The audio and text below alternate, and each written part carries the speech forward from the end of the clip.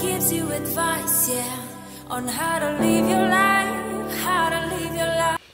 Hey guys and welcome back to my channel and welcome to my channel if you guys are new. I'm Cammi. Today's video is going to be a pregnancy update. It's going to be my 32 week update. Um, now I have had a appointment, actually I think two appointments since um, my last video because I'm going every two weeks now.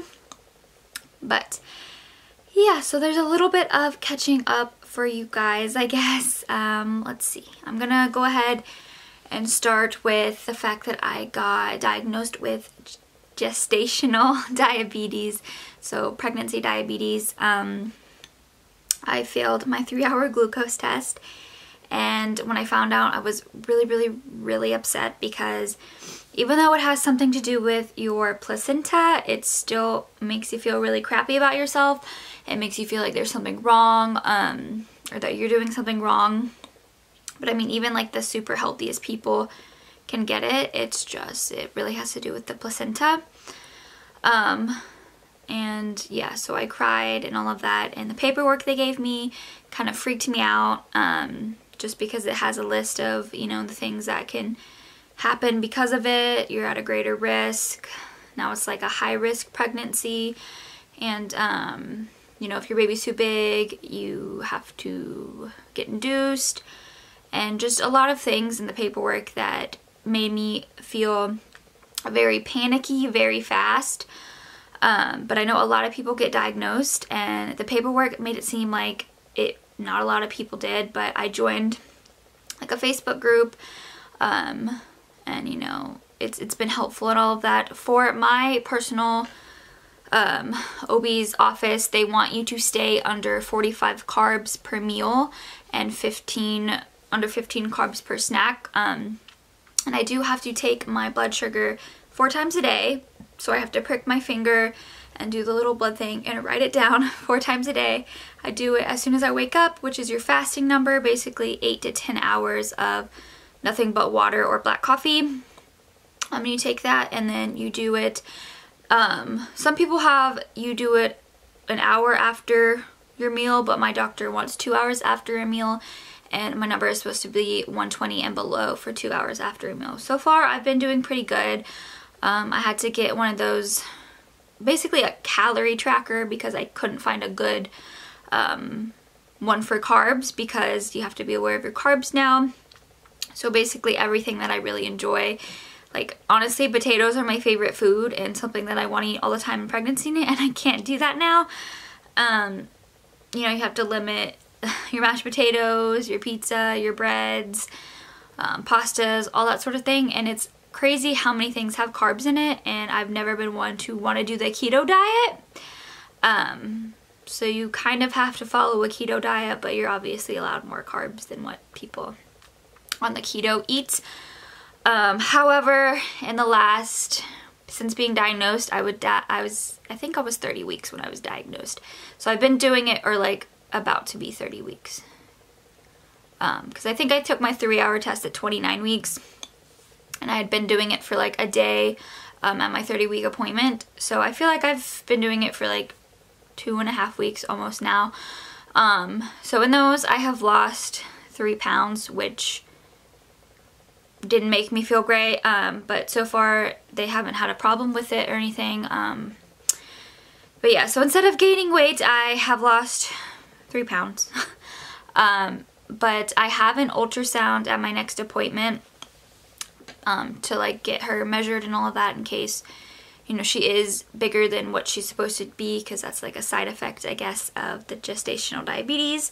Um, so I'm excited to get that done because that is something that you know they're obviously concerned about. But because at my last appointment my 32 week appointment they said since my numbers were so good and then I, you know following my thing pretty good um, that they're not concerned about her being too big. But again it just kind of you know depends um, on the person and all of that kind of stuff. But I thought I was going to have to go on insulin because my fasting numbers haven't been that great, but so far it's been, you know, good enough. Um, and you have to make sure that you drink a lot of water So the only thing is I can't have like my cravings, like if I want something sweet, I'm doing like sugar free, so I can't, you know, go get a milkshake if I'm craving that. I can't eat, you know, fries or any of that. Um, there's not been really any other symptoms. I've just, you know, I've lost the three pounds and um, I feel like I'm having a hard time staying full just because I have to find certain things to eat. Um, and then,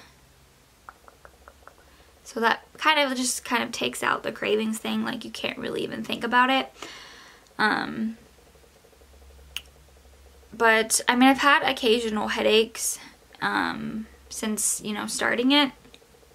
But I have to make sure that I'm drinking, you know, water and I'm still doing my baby aspirin to keep my blood pressure down because that's another thing that can rise up with gestational diabetes. And I didn't have it with my first but I had high blood pressure with my first. So yeah. Um she is moving like a lot. She loves to move. Baby girl loves to move at nighttime that is when she goes crazy.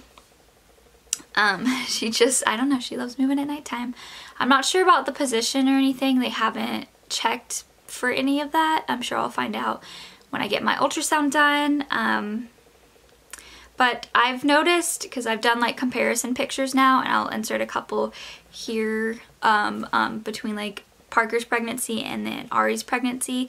Um, like she's sitting so much higher than Parker was sitting, so my bump is just such a different shape. So it's like hard to compare what, you know, because they're just, they're so different. Um, but she definitely moves a lot more than Parker does. She's definitely a good little kicker.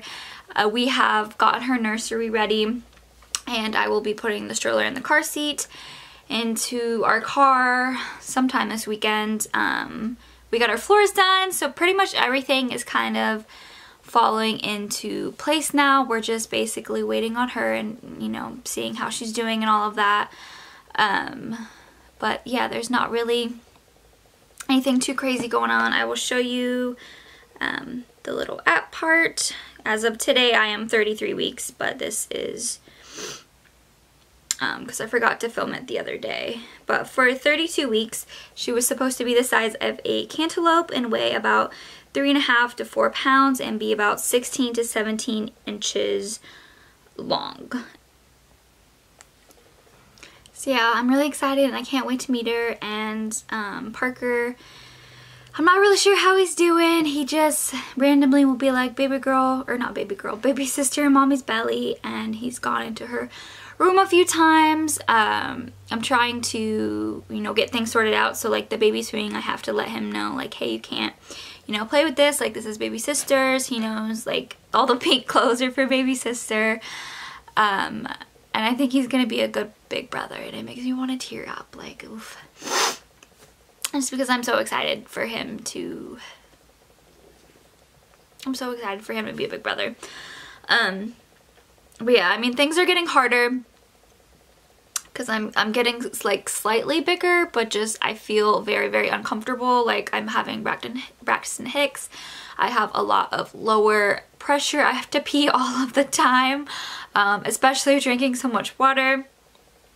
And then like um again with the sleeping you know I have to have a pillow like in between me so that I can lay comfortably. Um yeah it's just you know pregnancy gets harder and harder as you get up there um things that like my husband can clean the house so fast but like if I go to clean the house it takes me like three hours to do and it takes him like maybe an hour so it's it's just funny how little things like that, like me just being, you know, pregnant makes me do things so much slower than him. Um, so yeah, that is pretty much going to be it for the pregnancy update. And of course, I will show you guys my bump. And if you guys are new, I hope that you will consider subscribing. We're getting closer and closer to baby girl's due date. I am due January 23rd if you are new. So yeah, I'm just going to go ahead and show you guys my bump now.